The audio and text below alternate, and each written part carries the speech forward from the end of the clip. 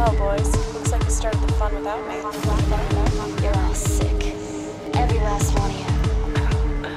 We're going to need a bigger gun. What's the matter? You scared of things that go boom, boom, boom?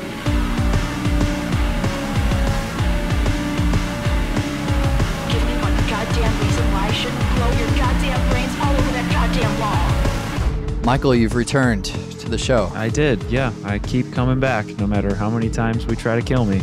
My name is Eric, and uh, since both of us are here, this is an episode of Double Feature. But not just any episode of Double Feature. That's right. The Killapaloozas are back. The Killapaloozas have returned. What are we doing on this here Because, Killapalooza? because no matter how often we try to kill them. I think people were afraid because we uh, we hadn't. Yeah. I don't think we've done a Killapalooza in you know six or seven months or something. yeah. I think what would be really apropos is if eventually, you know, when uh, Richard Branson finally gets those fucking space flights up and running that cost however many thousands of Oh my dollars. god, I know exactly where this is going. You want to do a Uh-huh. Killapalooza in space? Do a Killapalooza in space. Oh man. Uh, yeah, because we have the funding for that. we'll just, Won't be a problem. I don't know, kickstart it. Believe me, if I ever find myself in space, I will FaceTime you. I just assume of the two of us, I'm getting to space first. That's Yeah. let's not lie to ourselves here. That's what's going to happen. Um, we're doing critters this time, and I guess it's been even longer than six months. Well, the last the last Killapalooza we did was the Eye. Wow. I remember this because it was uh, Killapalooza 18, making this Killapalooza 19. And uh, the big 2 0 is coming up if we're just going to, you know, cite arbitrary numbers. 20 is more important than 19. Wow. But that doesn't mean we don't have a jam packed fucking show today That's right. in which we're going to spoil the movies. Yeah, we're gonna spoil the movies. We're going to uh, spoil all of them. Now, what if I don't want to get spoiled, but I've only seen Critters uh, 1, 2, and 4? Because that's probably a real thing. That's uh, that's really interesting that you should ask that. Um, we have the chapters thing where you can use your AAC file and you can chapter right on. Uh, you can chapter from this early section where we discuss the films we're doing and where we came from today and such things as chapters and spoilers. You can chapter right on to the first critters. Critters 2, what's it called? The new batch or Hungrier Than Heaven? I think they're actually. I didn't even look this time around. The only one- just upsets me. Only one with a subtitle is Critters 2. Really? It's Critters, Critters 2 colon Friday the Hungry Teenth. Oh, Critters 2, the main course. There we go. I'm looking on the internet. Critters, Critters 2 the main course. Then you could chapter right over Critters 3 and go uh, watch Critters 4 the main derif. I don't. oh, God. Oh, man. We eventually get to go to Critters 4. I can't wait for that. I, you know, I'm looking at the cover of Critters 2, though, and it just says Critters 2. I also see that the IMDb page just says Critters 2. I think I'm going to go ahead and chalk this up to successful titling for uh, for the Critters franchise. I think I'm going to give them credit for that. Um, yeah, so we're going to spoil the movies. You haven't seen any of the Critters movies, anyways. So, and you're still going to listen to the show, and nothing I can say or do will talk you out of it. So, uh, you know, ruin it for yourself, buddy. Um, the first Critters movie so here we are. feels weird to be back in Killapalooza. It does. It? does. But there's there's a thing in Critters, the very first Critters film, hmm that makes me feel so much more comfortable uh, than I would initially feel. And it's in those opening credits. And for one of the first times on Double Feature, it has nothing to do with the director because I couldn't tell you who directed this. but what I can tell you is who does the critters. yeah. Not only do they do the critters in the first film, but they go ahead and they do all the creature effects for critters in all four films. So we already get what's his name, Barry Don Opper, the actor who plays Charlie. Oh, yeah, yeah, so yeah. Okay. he's sure. our he's our overarching hero through these films. But for Don me, Keith Opper is his name. That's who you wanted. for me, the real hero of the Critters franchise is the Chiodo brothers. I don't know though, and I mean I don't know if you have this information. I know they're credited in all four movies, but my assumption was they worked on the critters in the first one, and then it's kind of like, you know, characters by Wes Craven. Maybe I don't know. I don't see why they would do that. Well, they created the critters. I think they might be given credit for, hey, you guys made the critters. That's an idea you had. Or a, you know, uh, you created the look and the whatever. I think it might be characters by the Chiodo brothers. I don't know. I don't know either. I don't. I don't want to think about that. So before, Yeah, so we're just gonna assume they they showed up for every film and made the the creature effects. well, the Chiodo brothers are the they're the creature effects guys. hmm They did Killer Clowns. That's their big. That's their directorial uh debut, which we talked about a little bit last week. yeah, when we talked about pacifist clowns. um, they did Killer Clowns from Outer Space. They did all the creature effects and the weird prosthetics. And I mean, they are one of the creepiest group of people to have do your monster effects. Sure. I mean, you go to Tom Savini when you want some realistic gore. You go to John Carl Buechler when you want something, some I don't know, some because he's in charge of Hatchet. That's pretty horrendous. sure. but nothing is as creepy as the realistic nature of the critters. Can we go back for a second? Did you mean to use the word horrendous? Is that the correct word you want to use to describe Ha- Hatchet? I I guess not. Full of horror, perhaps? Yes. Well, you said horrendous. It's recorded. I'm keeping it. Listen, these Killapaloozas run long. I don't have time for all this crazy editing stuff you uh, want to do on the show. I'm sorry. So, what is a critter? Krites. Right. Thank you. That's what I wanted. The critters are uh they're a species of alien that are apparently criminal sure. um because they're being taken to a space prison in the beginning of this film. Um so they're sentient enough to commit crimes in the universal sense. And they break loose and they fly their spaceships to Earth with the intention of eating the planet. Well, we know they're sentient because they talk to each other using language that is translatable into English. That's true. One of my favorite things about the critters as a monster character, hmm or I guess a slasher, we might we're on Killapalooza, we'll just call the critters a slasher, uh, collectively, is that they communicate via subtitle. Yep. I, I love that. Um, and the franchise pretty much sticks with that. It's it's one of actually a lot of things that I think the franchise. We often find that the franchises with fewer movies keep more things. Sure. They don't, you know, Well, and it's easier because eventually you not as many films for them to fuck up the- exactly right. the, staples. Although there are those franchises that just fuck up right off the bat too. right. Well, you, you want to talk about great right off the bat? I mean, we nail it. We hit a newest record for quickest time to space yeah, in I any know. Killapalooza franchise. I know. I don't even think when we did uh, Alien and Predator yeah, that we were in space this quickly. I mean, it, technically, we're always in space on every movie we do because Uh-huh. we're in space on the planet Earth wow. uh, right now. deep. I'm just saying, you know, if we want to really, I don't want to go handing out awards and wrongfully give it to, you know, the wrong franchise. But yeah, we're literally hanging out in a spaceship flying through space, first frame of the movie Mm-hmm. and space becomes something that the uh, the films are very comfortable with, and anytime they think they have the budget, they will Sure. uh, fucking return to. Well, it's weird because unlike a lot of the other franchises we've covered, Critters seems to be one of the only franchises that is firmly planted in space, yeah, sure. and Earth just happens to be a battleground. Well, that's what I mean when we're talking about the Alien and Predator stuff. Right. Is I, you know, I should know before I say something like this how the original Alien movie starts because that's probably a very easily Sure. findable thing. But I'm going to be uh, blissfully ignorant and just not know.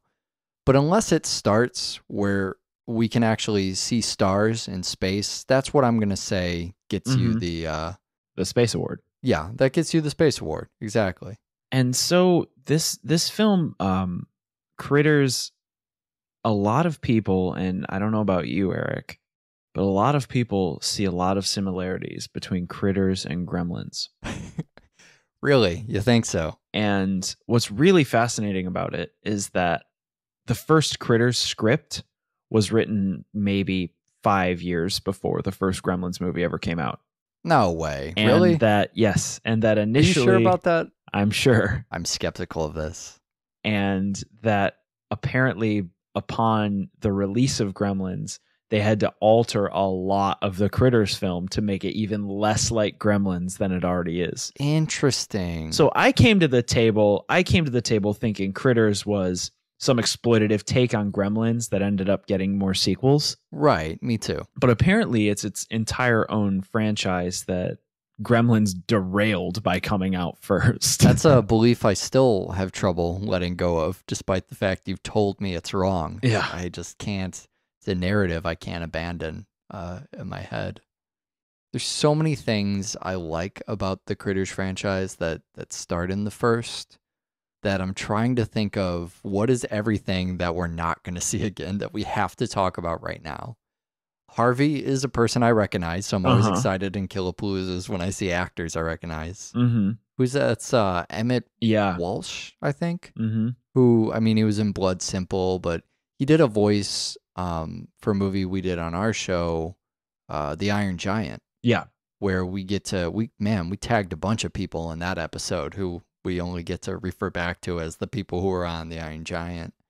But he also actually, while we're talking about movies, I never thought we'd fucking hear of ever again. Do you remember we did Piranha? Yes, I remember. and good you're with me so far now you especially gave me a hard time about this uh, when i mentioned director scott levy and his other film uh, men in white which was a you know fucking parody-esque thing of men in black Mm-hmm. And you thought yeah there's a film that'll never fucking come up again emmet walsh in men in white so take that, Michael Kester. Tagged twice on double feature. Men in White. I'm just gonna be looking for an opportunity. you know, if you tag a film three times, it's got to come on the show. That's one of the rules. That's what happened with Blade Runner. yeah, too bad it died in that year one studio fire. Uh, also, music by David Newman, Mm-hmm. who God didn't expect that to happen, but David Newman, uh, he did the score for, fuck, I mean, every popular comedy kids movie of the last thirty years. Mm-hmm.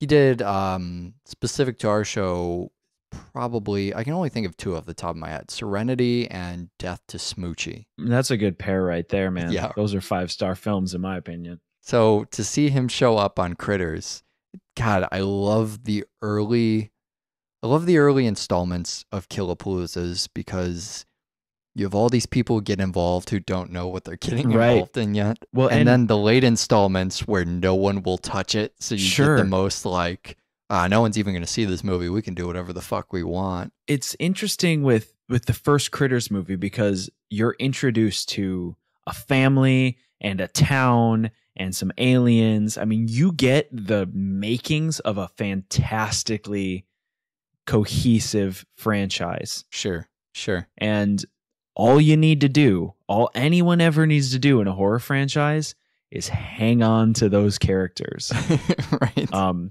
you get you get the family Somehow that's so hard for everybody, though. Well, you get the you get you get your nice farm family, which is just perfect for a film like Critters because there's plenty of random animals to get devoured Sure. and plenty of of creepy places for the critters to be hiding and you know the the father's not afraid of anything and your house is easily exploded and rebuilt. Right. You just get all these things that make for a really good family unit. I mean, it's it's fairly similar to the first Leprechaun movie, remember? I was going to say, yeah, it reminded me. I was trying to think of what, especially Charlie and the kid. Yeah. I was trying to remember. Exactly. What fucking franchise was that? But you're right, Leprechaun. And Was uh, it the first one? It's the first one with Jennifer Aniston's nose. and they're painting. Yeah, exactly. And uh and so and then we get the introduction of Ug and Lee, get it? And uh Oh, I didn't until you said that.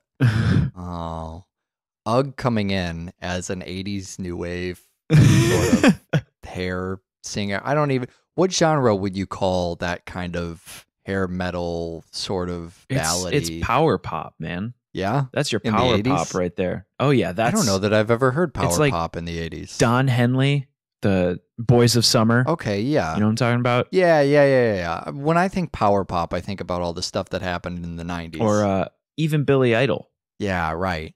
No, you're totally right. It's definitely okay. glad I have you around.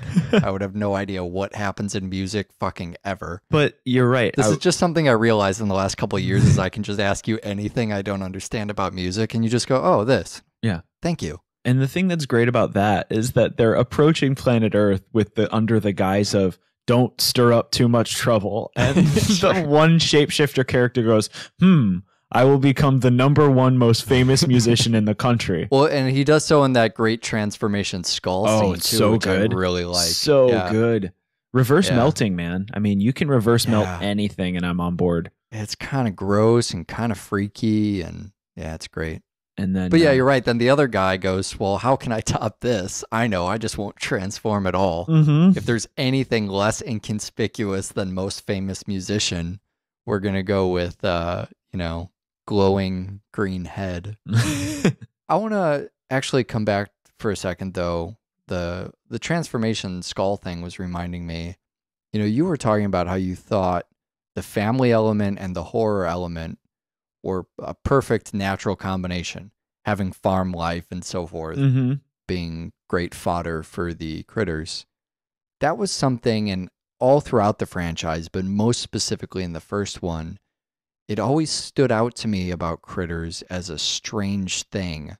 How the movie was kind of a light family film, Mhm. but then also has this violent turn Sure. where it's, you know, it's a dirty slasher, bloody monster thing, Right.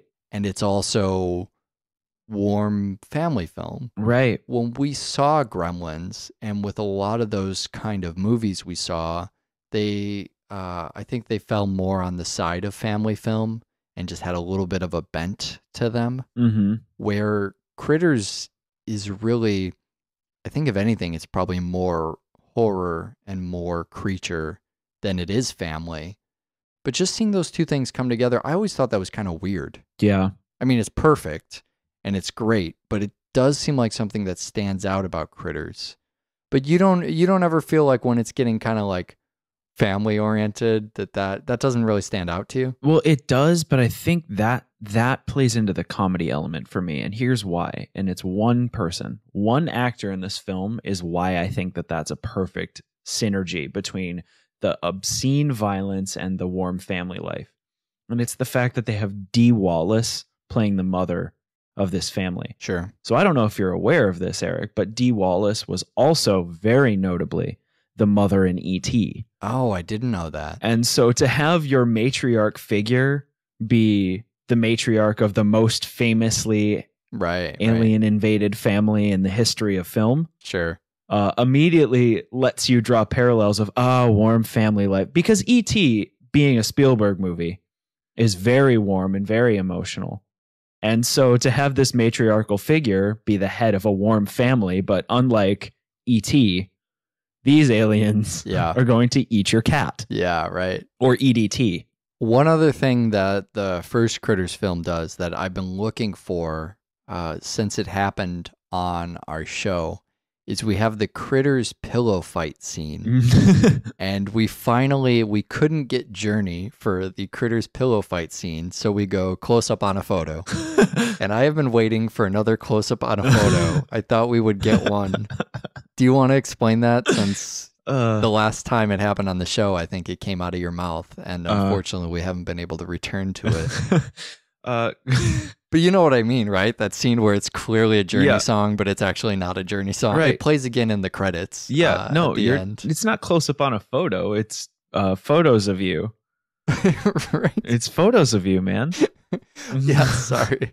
Close about a photo was another. Th- was it also from that uh, franchise? I think that, so. that happened. Yeah, Yeah, photos of you. Sorry. photos of you. It's uh, it's the photos of you is this wonderful thing that happened. I like how you just spent the last seven minutes cracking up. It took you so long to stop laughing to correct me. But yes, photos of you. Uh, also, interestingly, photos of you, leprechaun. That was a leprechaun yes. thing. Yeah. Um, Okay. So, photos of you is this thing. I've been that- looking so much at these photos of you. we're never gonna. People who didn't listen to that show have no idea what we're talking about. well, no, they can because we have a lexicon now. Oh, that's true. And Yeah. uh, you can just go on doublefeatureshow.com and pull up our lexicon to see the definition of photos of you. But uh, yeah. to to sum it up, basically, photos of you is this technique that films use, wonderful technique, where they blatantly rip off a popular song. Uh, and then stick it in their film so that you sit there and for a second actually go, wait, is this Journey? No, this is not Journey. Right. But it sounds enough like Journey that I'm getting the same feeling. Yeah, right. So you don't want to get rights, you don't want to pay for rights, or maybe they don't give them to you. I think in most cases it's a money thing. Sure. But there might be some cases where Journey just goes, "We don't want to be part of Critters. We're not a or Gremlins got the rights to Journey first. Yeah. that might be Gremlins snagged the uh, you know, the usage. But I love the so it's called uh Photos of You because of the Cure song that's ripped off in that franchise, Pictures of You Right. And in that franchise it was so i remember seeing it in that movie and it was dead on. Yeah. I don't even i think it might have even been the same melody. I don't even know if they did the good old one note switch. I think it might have just been blatant copyright infringement. Almost borders on a cover. And in the song here they only use the journey-esque bit. It's so lazy. They use Right. it for the first you know four measures and then they just go right back into score Yeah. and they do it again. So the actual piece of music, it's not like they have one piece of music cue pseudo journey that they use and then they go back to the score. The song has like a journey intro, Mhm. and it's just a song that sounds like the rest of the score, but has a journey intro for Right. that scene. Right. And when they go back to it in the credits, it's the same kind of thing, but there's more kind of journey element Mhm. of it. It's really funny.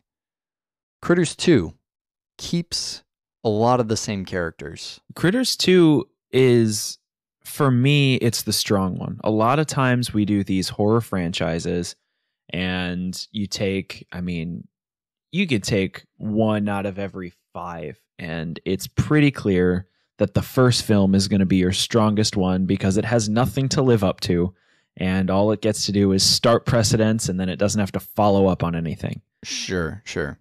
That's not the case with Critters. While I enjoy the first Critters film, I feel like Critters 2 knows exactly how to further the first film's agenda. Sure. We get uh, we get most of the same cast, like you said. We get the little boy all grown up coming back to his hometown. Uh, Harv got ousted as the sheriff, but he's still around, although not played by Emmet Walsh.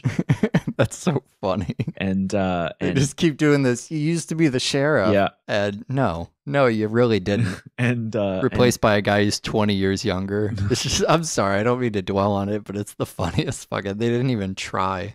and we get Charlie and Ug and Lee all come back. Apparently, Charlie boarded the uh, spaceship Right. with the uh, bounty hunters, and um, everybody just returns, and it's a it's just a wonderful way to do Critters too. Yeah. They up the ante so much more with the second film, and and that again with something like monster horror, like Critters, where it's it's not something like Halloween where you bring in Michael Myers again, but this time he has to be even scarier and more vicious. Yeah. Right. You have to figure out a way to make these critters different and more uh, fierce than they were the first time.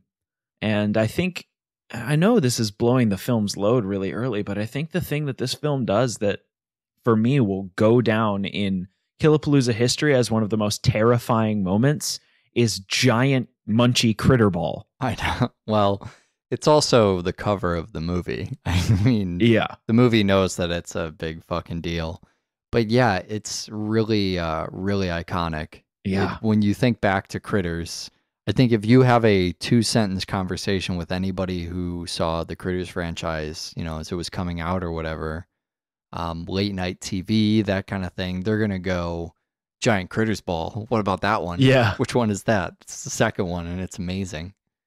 Yeah, the the kind of horror effects and the you know hyping up the critters even more and getting a bigger idea of. Mm-hmm. I mean, we're continuing the family violence first of all, but this time the backdrop is even cheerier and even Sure. brighter colored and probably. I mean, I don't know. Tell me what you think, but probably more violent. Oh yeah. Yeah, it's more violent and you're right. Everything about it is just amped up. we realized that you know we had these elements in the first one that really worked and we thought you know, it doesn't always work this way, but a lot of times you just bring them even further into the extremes, especially when it's things that are contrasting. Mm-hmm. You know, things like family life and monster violence. Right. Let's push them even further apart. What could we do? I don't know, Easter Day parade pageant thing and it's just set against this uh this cheerful spring background. I Right. th- I think it's great. They also kept the critter subtitles, so this was officially I mean, that was my spot to go, all right, what are we going to lose? I was fearful. Sure. And you know, as soon as you see the the critter subtitles. What about when you see the Easter, the bloody Easter bunny jump through a church window and take out the altar? that didn't win it over for you? Well, that's also yeah. I mean, listen, I'm on board from the very beginning on this film. There's no so the reason I've seen Critters prior to this Killapalooza is my interest in uh, fucking horror legend Mick Garris, mm-hmm. who is actually the only director I know from the four of these movies, uh, except the um, except Scott Levy, who didn't actually direct any of the Critters movies. He just made Men in White. Does this count as a third tagging, or do I have to wait to another no, show? you have to wait till another show. But we can Damn do a it. previously on double feature for you. Mick Garris is, uh, I think, you know, if I'm just going to go right from most popular work that he's done besides the second Critters, he did the movie Hocus Pocus. I think everybody has seen at some point in their life Hocus Pocus.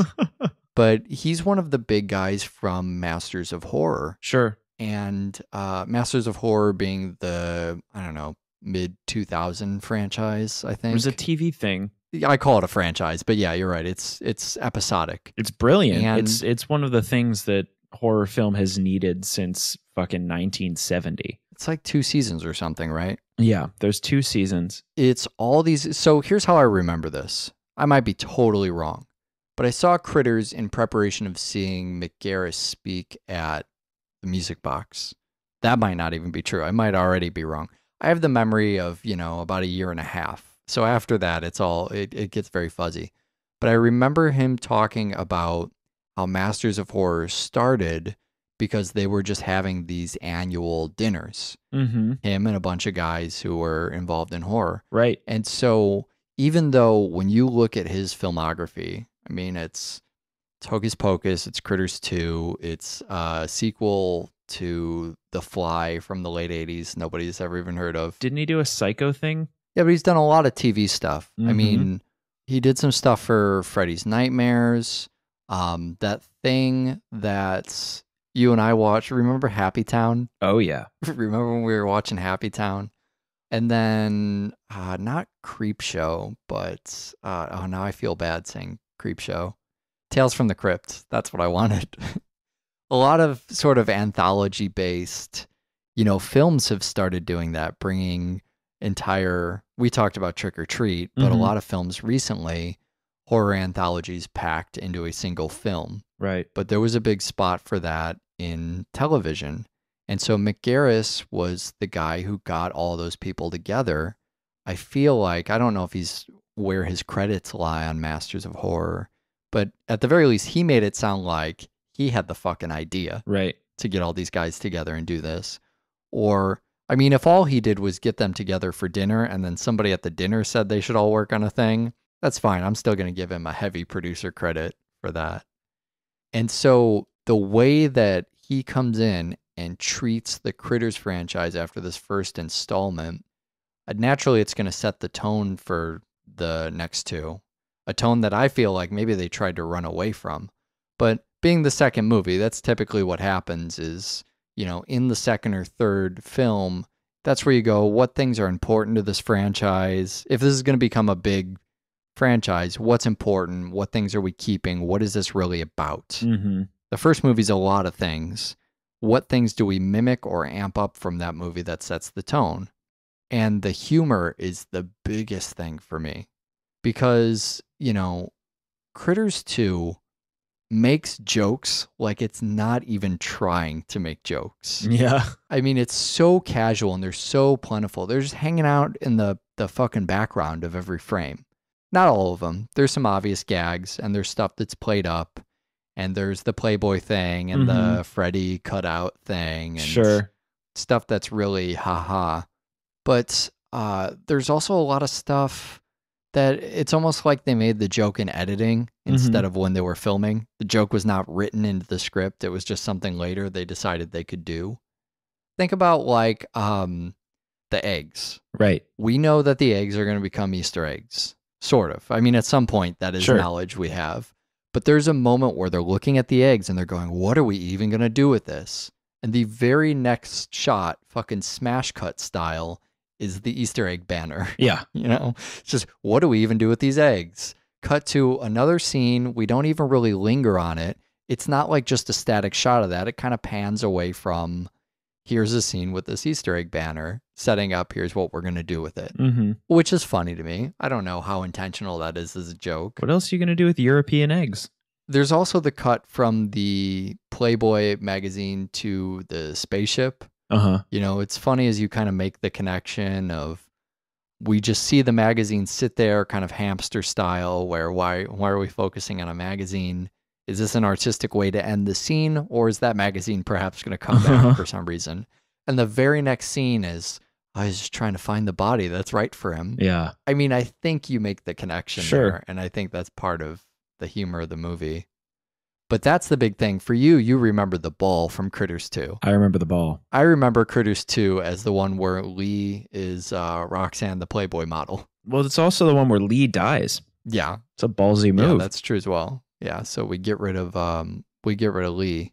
Uh, we give him at least an intentional death. A lot of the other characters we just never hear from again. right.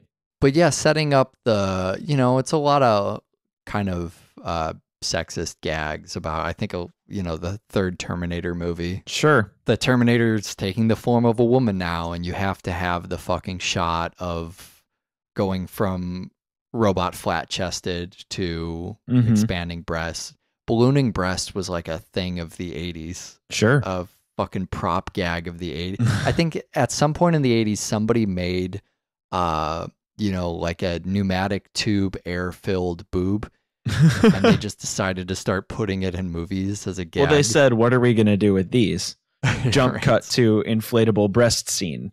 Right. So I think Terminator 3 was the last movie to use it, but for decades we were pumping the breast. That's not true. People are still putting those in movies today. I'm surprised you've let me get this far without talking about Lin Shaye. Oh man. So Lin Shaye is in both of these movies. I think her husband is one of the producers, Robert Shaye. Oh, really? He ends up he ended up producing the first two, but he he and Lin disappear after the second film. Right. And she plays an interesting character over the arc of the first two films because she's a she's like a police station receptionist in the first one and then she's involved in the newspaper with uh, Bernard from Lost. Yeah, right. I don't know if it's the same character. I don't know if it's the same person, Sure. but uh, I do know that her she is one of those actors that um, for you, I guess, Emmet Walsh represents. Where the second I see her, I go, "This is a horror movie. Come on, guys." I mean, it could be terrible. It could be. right. It doesn't matter if Lin Shaye shows up. It presents me with this. She's kind of for me. She represents this. Um, going to Thanksgiving dinner and Lin Shaye brings you a live turkey and cuts its head off and bleeds all over everybody and everybody's having a great time. but it's her house and Uh, you've gone to her house for Thanksgiving and you feel warm and welcome and everybody's all laughing at the sheer amount of turkey blood spraying all over everybody. To have her show up in a movie, it just makes me feel warm and welcome and hey, we're going to have a good horror time.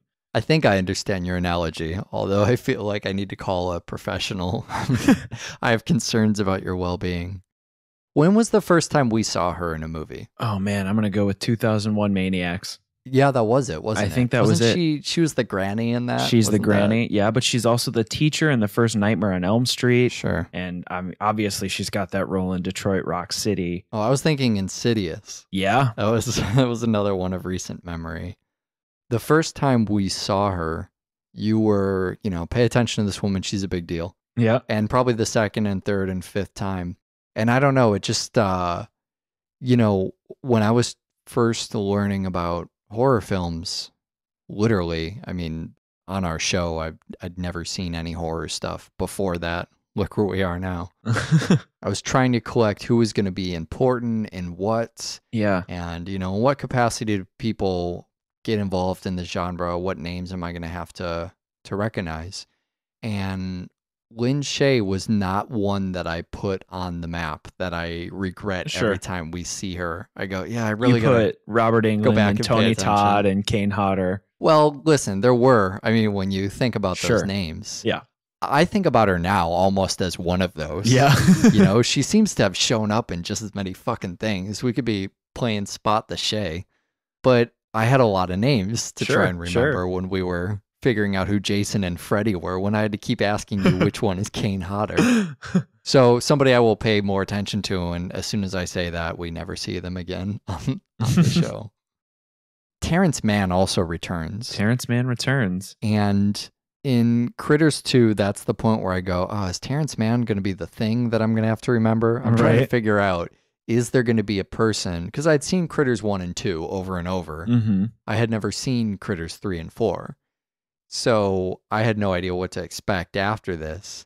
And keeping this some of the same characters, I'm trying to go, who's going to be our I want to say final girl, but that's not who is our Nancy of the Critters franchise Mm-hmm. um, is anyone gonna make the return? So Terrence Mann is my guess at this point, Sure. which kind of ends up being true. It is a is little true. Terrence Mann and uh Terrence Mann who plays Ug. Mhm. and um and Charlie are the two characters that stalwartly fight through all the Critters franchise. Right. They're also, I think, the reason for the biggest missteps in the franchise. if I had to pick two things the franchise does horrendously wrong, uh huh. it would be what becomes of Charlie and what becomes of Ug. Let's not get there yet, because I feel like Charlie has a shining moment in this film I want to talk about. Well, first Charlie dies, but it's okay because Ug looks like him. Yeah. and then he didn't really die. Right. But in the moment where we thought Charlie died, there is a sparkling score flourish that goes, Uh huh. Oh, but it's okay because Ug looks like Charlie. Yeah. Every, I guess everything's gonna be all right, which is not fucking okay at all. also, also, I really like the fact that he's been wandering through the fields outside of uh, Grover's Bend, and then he finds his way onto the street, and then for the first time, once the camera finally catches up with him, hmm he figures out how to remove the parachute. right.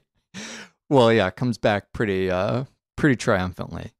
The shot at the end there when he comes back is one of my highlights from the whole franchise. because as we're watching Killapaloozas, we started watching them really knowing like which ones were terrible and which ones were great, you know, which pieces of the franchise. uh huh. And the longer our show goes on, every piece of the Killapalooza just becomes an amazing party. And we, we don't really spend a lot of time thinking about, wow, this is really the worst fucking thing ever Right. but man is if there is a definitive moment in any of them and i feel great saying this because it's in arguably the best critters movie the two charlies at the end that shot with the green screen oh, outline of the one where, charlie where you're sitting there just going, "How did they do that?" no i'm not because there's a green fucking pencil outline around it it has to be the worst green screening And I've they're ever they're seen clearly not even life. looking at each other. I know, I know. They're not looking at each other at all. One of the Charlies is looking in the wrong fucking place altogether, and the other is kind of pivoting at the wrong speed. yeah. And just a green pencil outline around him. It is uh amazing is the word I want. It's amazing. And then end your film with a crane shot Sure. because you know I ain't listening to no no face spaceman. Uh, Critters three. Yes, finally, Leonardo DiCaprio. We got one. Yeah. I knew this would happen You eventually. gotta have one. While Critters is trying to do everything it needs to be a AAA slasher franchise in as little time as possible, Mm-hmm. it realized that it did not yet have a starring one teen heartthrob Sure. and two a person who would go on to have a legitimate acting career that would then wish we forgot about Right. Critters 3. Well, don't go out there and tout him as a teen heartthrob because this is the first thing he ever did. Well, but that's what I mean though. So he transitioned from Critters to teen heartthrob. Within uh, probably three, four years. Well, and fairly amazingly for Leonardo DiCaprio, I think a lot of people don't even realize, you know, you and I grew up through eye rolling Leonardo DiCaprio teen heartthrob. Tiger Beat magazine. Eric. Tiger it was Beat called Tiger Beat magazine. Fucking shut up about Leonardo DiCaprio teen heartthrob. And went on to, I mean, if you just started watching films today, you would think, oh yeah, Leonardo DiCaprio, one of the greats of our generation. Mhm. You know, he's The, that actor who got his first film role back in uh, Titanic. Yeah. Well, that would be the embarrassing Critters past. He was hiding is Titanic. Yeah, right. Oh, you, well, he used to do these big blockbuster love movies like Titanic, Yeah. but then he went on to all this other stuff. Went on to Shutter Island. But far before that, He was an antichrist. right? You got it.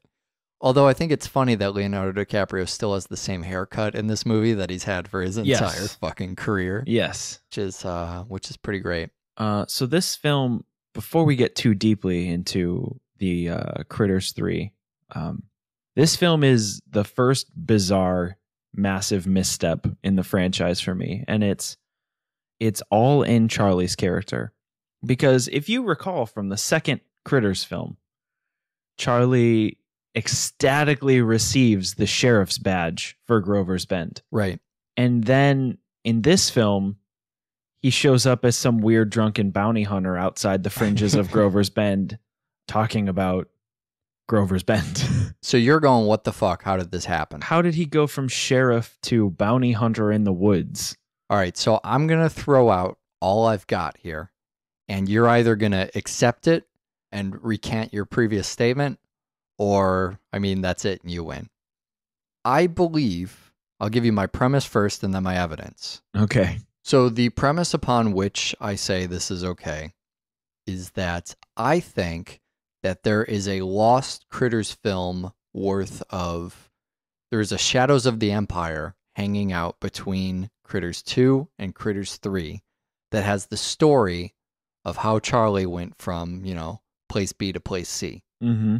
Now, I know you look at this and you just go, how was that woman a sheriff's secretary and then a newspaper secretary?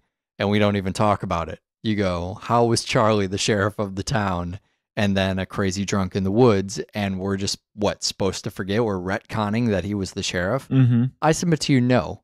The franchise knows that he was once the sheriff, but has somehow, in a mysterious story we have not yet told, become a crazy rambling drunk again. And as evidence of this, if you pay really close attention, and I only, I mean, I only caught this by accident. I did not actually go back and comb for details. I wish I could, you know, only caught this by accident. Otherwise, I'd be totally agreeing with you. When you see him at the end going through the caverns of Kansas, totally not LA, but Kansas, as we find out in the next movie, uh-huh. uh, and he reaches down for the little remote thing that they call back to. Uh-huh. Slightly different design, Sure. it, whatever, same remote. Yeah. He pushes his coat past his waist Uh-huh. and as part of his overall costume, his collection of trinkets and crazy shit from his travels, Sure. is his sheriff badge, his former sheriff badge, That's Sitting- weird. on like a, I don't know, on a on his belt or something. So I think that's the movie going. That sheriff thing was an episode of his life, but some crazy fucking incident happened. Alcoholism. he It's not crazy. well, it might also. I mean, who knows what that story is? But that was kind of an awesome moment for It me is, because I really. went, "Wow, there's a whole interesting thing that happened to Charlie." That, I don't know if it's The film- interesting. well, honestly, the film just went, "We don't want him in that role. We want him in Right. this role." So whatever. But they leave an opening for me to be imaginative and go, "What? What is the lost Charlie Mhm. chapter? What happened to. Charlie?" Okay, I'll I'll give you that. But what I don't understand then, Eric, here's another one.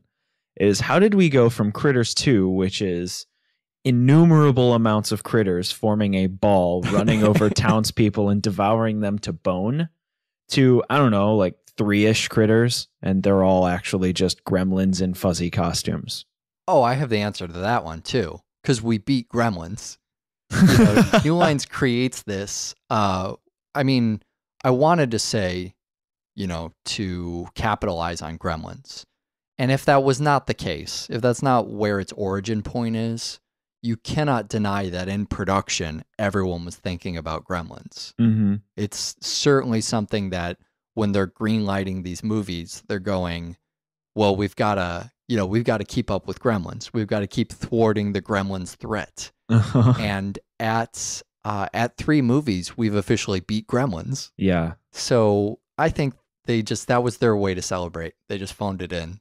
They went, They did. let's blow every critter we have on the second movie, and then once we win and Gremlins admits defeat, then uh we can We'll just, just do Gremlins. yeah we could well one we can only have a few critters, and two the critters could be acting the most Gremlins they've Sure. they fucking acted the whole. They even have personalities. One gets a name. Yeah. I mean, that's the it's thing. ridiculous. And I mean, Yeah. short of short of abusive John Waters' dad, it's the most familiar thing in the entire movie for me. yeah, right. So this this this film loses almost its entire cast from the second film. We get Charlie. We're introduced to a new family. There's an orphan. We only of. kind of have Charlie. He shows up at the beginning and the end. Yeah, and he's he's a different character. I mean, he looks like he's been eating. And then uh and we get the weird ending with hologram Ug, which which we straight up just show later on again in the next film. I mean, well, hold on for a second. Critters 3 pulls that trick twice because Charlie also does previously on Critters earlier in the film. that's true. Critters 3 is probably about 45 minutes of footage. Yeah. Well, you that think does not appear in another movie. wait until we get to Critters 4 because there are some really bizarre things going on in the production of that film as well. Well, these two were shot back to back. Right. So I think, you know, we have we decided Charlie and Ug are going to be Critters 4. That's where the real story's at. Uh-huh. We just need some filler for Critters 3. Why? Well, because I don't know why. I mean, I don't, I don't fucking know why. They need the DiCaprio credit. I think that's one of the reasons we just move Charlie into a totally new role and don't talk about it Mhm. because the last thing we want to do is pay Charlie for more screen time.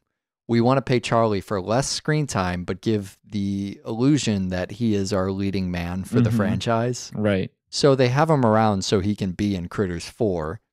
They chuck him in a couple scenes in Critters 3, but to explain how he went from sheriff to drunk in the woods requires more Charlie, and we don't have Charlie on loan for that Right. long. We've only paid Fair him enough. for one film. Fair enough. But Aimee Brooks, the girl from Monster Man, we have her Uh-huh. and Leonardo Yeah. DiCaprio for the whole thing. so let's just use that relationship as much as we can. And uh, the critters, I think the other thing that happened is they took the ball of critters from Critters 2 Uh-huh. and then split them off between the two Sure. films. Well, don't forget, don't forget, you can't just chalk off the little boy from Kindergarten Cop. Yes, I can. This film has the most Says who? famous cast of since the first film. I mean, we have yeah. we have Emmet Walsh, Lin Shaye, and Dee Wallace. Okay, so those are actual names in the first film. The second Yeah. film has none of those characters except Lin Shaye and uh Uh-huh. Bernard from Lost. right. And now we've got at least in double feature history, a massive onslaught of actors because we're talking DiCaprio, and then we got little kid from Kindergarten Cop and girl from Monster Man. So we're back in famous territory at least. Well, also famous for double feature. I think this was the one that um uh, was it Kristine Peterson? Mm-hmm. Yeah, so this was the one she was involved in. Actually, I think she was the director of this, Right, wasn't she she? was, yeah. So maybe I uh, maybe I do know other Critters directors.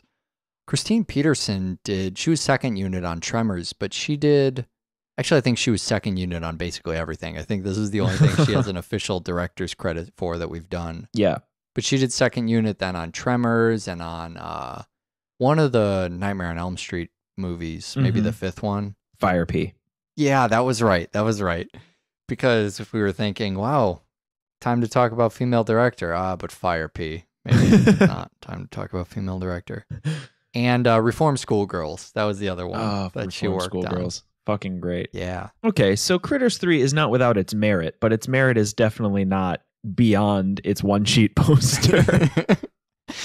you mean the one uh, that has Critters Take LA on the cover and then a little, yeah. what, what is it, like a little circle with Leonardo DiCaprio's head in, Uh-huh. the corner? with I think next to it in font just as big as Critters 3 it says please see this movie. Oh no, it says starring Leonardo DiCaprio. That's Uh-huh. that's what it says. Oh, Critters Take LA. Another move that uh we're going to have a AAA title. We uh we've listen, Gremlins no longer on our radar as the threat. The threat is now Jason. And Right. if we're going to surpass Jason, we got to take LA. We've got to take a city, and Jason's already taken Manhattan. Well, that's the perfect thing because you have Manhattan, the city of all cities, you know, New York, if you can make it here, you can make it anywhere. Probably the only place that, uh, as Chicago citizens, we would look at as well. There, there is one place bigger and crazier, in New York, but let's not give them any credit. Let's talk about Chicago. well, Predator's already taken care of that, but so then we have LA, which is the laziest city you could take, especially Sure. as filmmakers, yeah, because it's not really a city. exactly. and we pretend it's a city because movies are made there. Yeah. It's your backyard. Exactly. It's well, Critters has to take a city. Uh, I don't know. LA's LA's a 20 minute drive. They'll just take LA.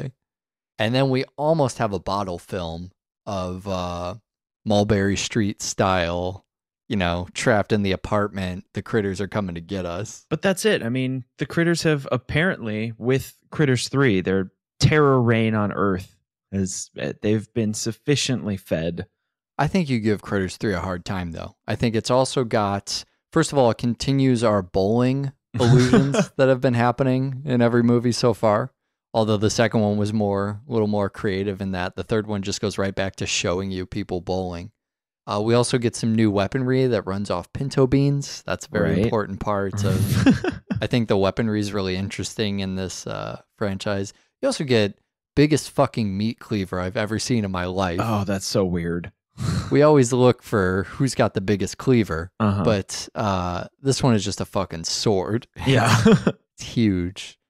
And the slasher point of view shots, sure. which uh, are even better at the critter's height. You know, Mhm. it's kind of that child's play height. Sure. Again, just another thing you got to do if you're going to have a slasher franchise. All right, I, clearly you are dying to talk about Critters 4. I'm not going to stand in the way of you and Critters 4. So Critters 4, Eric. Critters 4 takes place in outer space. It starts exactly where Critters 3 ends. In Kansas, what happened to LA? Was I did I fall asleep for a second I here? I was under the impression that Charlie at the end of Critters 3 was in LA in some caverns. Critters 4 opens and it goes, "Nope, that's Kansas." Yeah. Okay, whatever, that's fine. So so Charlie gets in a pod and with the last remaining Krite eggs in existence and is blasted off into outer space at the demand of his old friend Ug. And then here we are in outer space with uh, Angela Bassett and Brad Dourif and some other actors, I'm sure, that have had careers. Oh, come on, man. Bernie was in Silent Night Deadly Night 3. You're not going to give him any He was also in Twin Peaks and Firewalk with me. That's where I actually know that actor. Right. But you know, he he was in another Killapalooza. He should get some credit. Sure, sure. So we get uh, what I think is a really good premise, and uh, four is not. It's by no there. It's no feat to make your fourth film in outer space again, following in the footsteps of Leprechaun. Right. but Sure. this film's premise is there are two Krite eggs left in the world, and these basically space bounty hunter contractor types come upon them, and TerraCore needs to acquire them for now. If we're to believe what is said at the end of the third film, they need to acquire them because it's illegal in outer space to kill off an entire species, and I love that. yeah. I love the benevolence of you can't kill a species even if they're horrible Yeah, for sure. but then it turns into they're a super weapon that can destroy planets in a matter of months and and whatever. So here anyway, forgetting all of that, now we've set the premise and fuck that. Here's what's interesting to me about this film, Eric. Charlie returns, Ug comes in over a monitor. Uh, I mean, we we have at least those characters. But what we don't have is a movie that is purely Critters 4. Yeah. What am I saying? What am I talking about? TerraCore is actually a company that was initially used in a film called Android. I don't know anything about this. Now, wait, you're going to love this. I'm scared. So, Android is one of the only other films starring Don Keith Opper, Huh. who plays Charlie Right. in the Critters franchise. Now, I know what you're thinking. You're thinking, wait, is Android Did we miss one? Is what I'm thinking. part of the Critters universe? Exactly. But that's not the case. Okay. The case is instead, let's use some footage from Android so we don't have to f- shoot entirely new footage No. of Don Keith Opper in outer space. What are you talking about? I shit you not. what are you talking about? Some of the about? space footage is from most a lot of the space footage is from It is Critters not. 1 and Android. No, it's not. it is. With the big gun and everything. Really? Yeah. Why how did I not notice this? So this film is partially Critters 4 and partially Android, and it uses the same evil corporation, TerraCore. All right. And so we get a bizarre film where Don Opper shows up, but he's also actually just being in another movie. And then the crew of this ship is being eaten by what, a- Krite and a half? Okay. So there is some Don Opper in the movie that is shot exclusively for the movie, Sure. right? Right. Anything where he's with an actor from the film. And then they just took the other. Can that even really be okay? All right, hold on. Let's go back for a second here. Let's just put aside the intellectual property problems here because I'm sure they'll work themselves out. So if this was a movie he was in before, then maybe it's a new line movie. Maybe they have rights to it. I'm sure they're only using the footage because they could get it for cheaper than to actually film new footage, if Mhm. not for free Mm-hmm. can it really be that cheaper logistically from like a uh, project management standpoint does it make more sense when you're budgeting out the film you're the producer in charge of finance to go well let's actually comb through android find usable scenes splice them out and put them in our movie than just going well we have don around for this many hours just have him do things I mean, Yeah. did they only film like 45 minutes of stuff and I then I have mean, to pad it out? I don't know the answers to these questions. I don't understand how this makes production sense. I don't know the answers to these questions. Well, questions. speculate wildly. I, I think that for whatever reason, it's just I don't you know here's here's my wild speculation based on Critters three and Critters four and my knowledge of where Don Opper shows up in these films. Somebody making Critters really doesn't like him, and so in an effort to spend as little Okay, time all right. paying and working with Don Opper as possible, uh, they're just going to use other footage. okay, so I am really curious why, um, why not just have Don Opper act in the scenes? I, you know, the natural thing my mind goes towards is it's too expensive. Uh huh. Well, he maybe he's just he need maybe Colin Farrell wants too much money.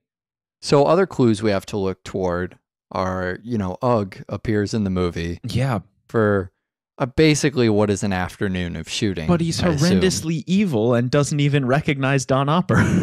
Well, and yeah, what is that about? I don't get it. Uh, this fil- that's that was the other thing I was I was alluding to back when we were discussing Critters 2 is why the hell is Ug suddenly evil? Well, because time changes things, and it's been 50 years, and, And he got a promotion. I actually kind of like that. I'm going to explain why, Uh-huh. even though I'm not married to it. I like it because it's been 50 years, and to us, we see Charlie and Ug as the staple of the series. Mm-hmm. they're this this fucking power duo of bounty hunters and they're at you know they're central to everything that happens but in the real timeline charlie was in ug's life for you know three weeks Yeah. 50 years ago so ug does not give a fuck about charlie because really it seems really important to us and a little less important to charlie and it can't be important to ugg at all because it was 50 years ago i mean I just had trouble remembering what the fuck happened in Leprechaun and the difference between close up on a photo and photos of you. uh-huh. I don't think I would remember. I definitely don't remember what happened 50 years ago. So, I mean, that's all I got for Ug. Or he's kind of a dick. I don't know. I think both, but fortunately Charlie knows how to use a revolver. And that's very disappointing to Brad Dourif in this film. Yeah, I was going to say, can we get back to Brad Dourif? Why Oh, are we talking about Brad Dourif? So Brad Dourif is in this film, and that automatically makes it my favorite Critters movie. Oh. Ah, Brad Dourif, I missed you. Oh, I'm so excited. Brad Dourif coming back for Curse of Chucky. How have we not talked? This is the wrong time to talk about Curse of Chucky, but uh, we didn't cover it on the year ender. Mm-hmm. when the you know actual new pieces of information were making their way out there. I guess only to say I'm excited. That's really the only reason I, Yeah. I bring it up. So uh, Brad Dourif, um, Voice of Chucky, Brad Dourif. Voice- and last seen on our show, let's say in a Jeremy Kasten film. Prophecy Three. Oh, okay. No, it wasn't that long ago. It was uh, where he was like an opium smoking Right. store clerk or something. Sure. That's how I remember that movie going. No, Brad Dourif actually, aside from being one of my favorite actors, his character in this film is one of my favorite characters in all of Critters. hmm He's the only one who seems to have any sense about him in this scenario, and he also doesn't like when people beat up his crew. Sure. And so he goes down like a champ. He takes a shot to the gut, and he dies in the final scene of who is going to win in the Critters franchise. Will it be Will it be Charlie? will it be Terracor from the film Android? Or will it be or will it be the last remaining Krite family who's just trying to pack a spaceship and leave? Oh my god. This film I also love that it's two Krites. I don't Oh, like yeah. aliens over alien, you know? Yeah. I think stick with fewer creatures is great. So we throw two of them on a ship and we say go at it. I think that's awesome. I love that Well, the more it. you have, the less of a the less of a challenge it becomes. You put 20 Krites on that ship and if they survive, I'm going to be pissed off. right. I've right, seen I've seen what 20 Krites do to an entire farm town. right. So you can't sell me on 20 Krites get defeated on a spaceship. So you're listing contenders for the end of the movie. I know the uh, captain who's doing a terrible Picard does not make your list. No. That's not just me, right? Terrible Oh, yeah. Picard is Oh yeah. basically that was his um, hey, what am I doing in this movie? I don't know. Be like Picard. That's what we want you to do. I think Next Generation was probably a thing when this was being made, right? Oh yeah, this was in the 90s. Next Generation was really strong through the 80s. I was gonna say again, the the internet would probably give me the answer to that. This is space and the future. Mhm. So that makes it a little bit different than previously just space. But for 2045, it sure looks like the early 90s to me. Yep. I don't think I've ever seen a future that was so unintentionally not futuristic at all. Well, I'm just I'm always pleased to see that in the future we will run our our ships on DOS mode. it's it has to be we talked on uh Bicentennial Man was where we talked about ambitious mhm. being as creative as you can and thinking about the future and then pushing it even further and even further beyond that just constantly challenging yourself as a visionary of filmmaking Mhm. to create worlds unlike any that modern man has seen this might be the least ambitious future i think we've ever seen on a screen ever even worse than the sort of you know um barbarella things are in space that just happen to be laying around right. on the studio set. I pick on Barbarella, but I think that was actually uh, it was a fairly creative. It was a very distinct look for its Well, own type of future. I mean, let's let's go to fucking remember Christmas on Mars? sure, yeah. Remember those Well- those things? All right, so maybe I'm wrong. Maybe when you only have stuff laying around and you use it to create your future, you actually create a more visionary Sure. future, a more creative future. But here we are 50 years uh, in the future, 50 years forward in the future in the Critters franchise. And I think the only thing they have that we don't have now in 2013 reality is uh, what consumer level laser guns yeah. and independent space travel, which, Mhm. as you already hit on, is something we're moving toward Right. rapidly. uh, 2013 is far more advanced than the Critters 2045. Even our versions of the stuff they have, like their computer systems, right. are fucking way more futuristic than, you know, the systems in the movies. It's kind of scary to think about, though. Part of that is we're at a halfway point. Mhm. I don't like thinking about, you know, they they go 50 years in the future. We're what, like 25 years in the future, Yeah. 20 years in the future? When was this made? 1991. We're halfway there. Yeah. Let's talk about something else. Uh 3-minute core warning. Let's talk about that. That was my other favorite thing from the fourth one is the robot that they all hate, Mhm. which is also Sure. It, it's some of the best and some of the worst scenes in the movie. It's really interesting how they turn the Asimovian three rules on their head with that robot. Sure. You know what I'm talking about? Where Yeah, definitely. it, it must obey humans unless and And this is interesting because the, it's programmed to only obey people with certain clearance. So then tell it to not obey you. It's Boolean logic programmed to disobey people who do not have the clearance. Mm-hmm. But uh, they reduce that into the, you know, the very simplistic, the computer is stupid, Mm-hmm. which, okay, I guess that's fine. But there, um, the three minute core warning at the end, where for your listening pleasure, I've selected a track with a running time of three minutes, Mm-hmm. is awesome. All right, so now that we're in space, Mm-hmm. We've only got two critters. While totally the wrong time in our show to take a look at the critters themselves, this is the easiest opportunity Right. to do that. Yeah. We know what they look like. We've seen them through the whole franchise.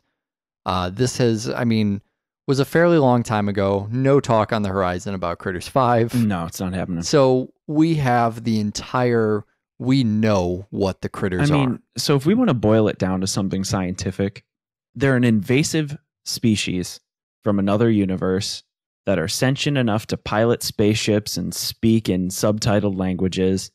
And they travel not by walking, but by rolling. And that's their big iconography is these rolling balls of fur uh, that they have these spines that they shoot that do varying things depending on the film they're in Right. and they have multiple rows of teeth that they can use to eat anything, whether it's a stool or the wiring or your dad. Right. I mean, they can even eat. Uh, they can even eat firecrackers.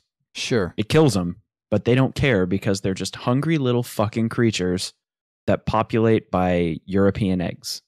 And I also think that the critters always feel like characters in the movie. They never feel like a prop. And I mean that, I don't mean that really pretentiously. I literally mean they just do a good job with the creature effects. Mm-hmm. Sometimes we get slasher movies that forget they're about the slasher. Sure. And so we just, you know, we have a unanimated doll of something just Right. sitting around. It's, I'm not making a, a joke about child's play. Right. I'm trying to think of a good example. I think Aliens is a good example. oh, sure. I think definitely. you you get into the second and third Alien films. The first film is it's man versus this superhuman creature. right, Then immediately you get into man versus a swarm of bugs, right. and the bugs lose their identity as a as a character and become a force. Well, even beyond a force, I think they're just not animated very well by the end of the franchise. Yeah, that's true. Well, the third one especially. yeah. The third one was a big moment for that, and I think about it in the Alien versus Predator stuff as well. Sure. where there are scenes where they just n- did not take enough time with the treatment of the alien. Mm-hmm. You start feeling like that's just kind of someone standing around. They're not in character, Right. especially when you have these things that are, I mean, you could hold them in your hand, the critters. They're that small. It would be so easy in a cheap, quickly made film to just dart the camera over to, you know, the side of a room where we've just flung two critters props Mm-hmm. and they're just sitting there. But they always feel like they're moving They always move and, and they laugh. alive. Yeah. And it's what it's what kind of as much as we always say this is the critters are the reason that the franchise ever got made into four films because people like watching weird little shit eat people. Right. We talk about Charlie like he's the reason, but Charlie is just, Yeah. hey, we could put a character in this movie from all the movies. Sure. Um, but we look at other franchises like the Amityville Horror or Children of the Corn, and going up against those, I mean, they didn't even have a consistent Right. you know, monster. It could be argued in the defense of those franchises that it was about the havoc of a place, you know, hmm upon humans. Or the havoc of he who walks behind the rows. but, you know, the treatment of the horror presence in those movies is not always kept as a very high priority. Mm-hmm. And I think that's definitely something you can say of Critters is that we are always focused on making those little fucking balls of fur, getting those right every single scene. So I'm glad we could take a look back on our actual, let's go ahead and call them our actual slasher, Mhm. uh, the Critters. But something we've neglected to do in some of the Killapaloozas, especially as they've gotten shorter, is recount which fucking movie were we talking about when. Mm-hmm. So First, first critters film. Farm family uh, gets attacked by aliens, and their cowhand and some shapeshifters from space have to put them down. All right. Second film, child from the first family returns to his hometown where he and the drunk farmhand go head to head against a giant ball of critters. Sure. And that's the Mick Garris one. The Easter Bunny one. right. The Easter one. Sure. Oh, and the Playboy one. Right. Can't forget that. Yep. It's also, the second one is also the Playboy one. Mhm. Good. Then we have Critters 3, which is DiCaprio in LA. Right. Made back to back with Critters 4 and um, using some scene bleed over at the end uh, to tie the two together. then we have Critters 4, also known as Android 2, which takes place entirely in space, uh, where Charlie and a team of space pirates battle two critters until the evil space conglomerate Terracor comes and decides to use the critters as a weapon. Thusly wrapping up the Critters franchise and taking care of every last critter once and for all, even though I'm pretty sure we did that in the second movie. Right. Halfway through the franchise, you know, we get to the third movie. Why are there eggs under that car? I don't know. Why are there still critters on Earth? We didn't leave any. There was no dun dun dun. There's still eggs scene like Right. at the end of right. whatever. It's fine. Uh, we have a website, doublefeatureshow.com. People actually missed these these Killapaloozas. Can you Hmm. believe that? They missed them, All right. as in wanted more of them. but I guess it makes sense that the people who would want more of the slasher franchises, more uh, soulless, terribly made uh, sequels, would also want more soulless, terribly made double feature episodes That's true. and they write to us. They write to us using double feature show at gmail.com. We have a bunch of producers who ensured not only that there was a year six, but uh, also helped ensure, along with all of our Kickstarter backers, that we hit our stretch goal and were able to do a, a legitimate amount of Killapaloozas, a formidable amount of Killapaloozas this year. And those executive producers are Flint Ironstag, Max Harley, Meta Somerville, and Hannah Hughes. Now, Michael, don't we also have um, two movies that we're going to do next time on the show? We do. Not only do we have two films that we're doing next time on the show, Eric, one of them was chosen by one of our Kickstarter backers. Um, and we're pairing that with we're we're gonna go ahead and straight up do cartoon Disney. Have we done that? I don't think we've ever done that. No, I uh, so I really wanted to throw one of these in this year. I think this is the logical foray. You know, every time we do it, we hedge our bets. We go Tron or something like that. Sure. We cheat a little bit. We're still cheating. And- this still feels like cheating. I know, I know. It, you does, know why it feels As I like cheating is because it's not a musical.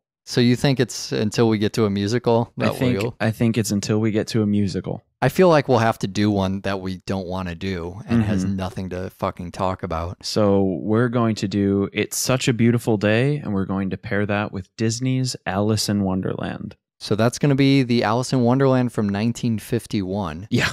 and it's such a beautiful day. Um, it's going to be a little trickier to get, but actually, it's not tricky. I mean, you find it on Vimeo, and you can uh, you can buy it for like two bucks. awesome. So buy the movie, and we'll pair it up with Alice in Wonderland next time. All right. Watch more fucking film. Bye.